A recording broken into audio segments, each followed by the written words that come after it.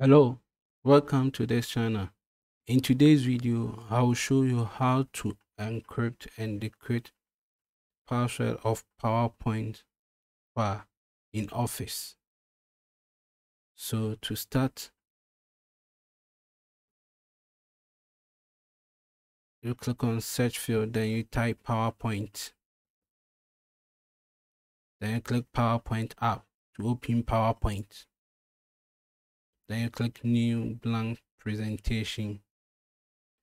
After that you click on file. Then you select the file that you want to encrypt with a password. This is the file on my desktop. So to encrypt with a password you click on file then click on save as.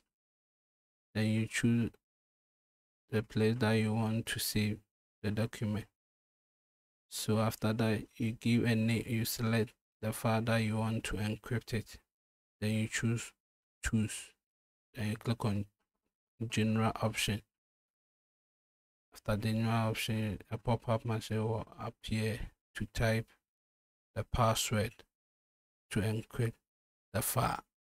So I type the password to encrypt the file, then I click OK. Then I retype again the password I want to use to modify. Then I type it again. Then you click OK so that you save the file.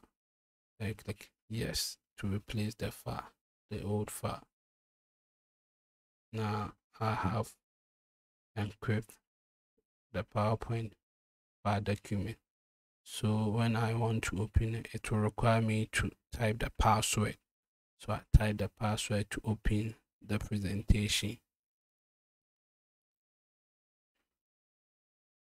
Click ok. Now the presentation have opened. So to decrypt the password. You need to go to file again. Then you click save as. Then you select the position where the file was saved. Then you select the file that you want to clear the password. Then you click on tools then you click on general option. Then you clear the password that you input to encrypt it then you click ok and click save to replace the old one. Now you have removed the password from the file so you can open without any requirement of password. Thank you for watching this video. Please kindly subscribe to this channel to receive an update. Thank you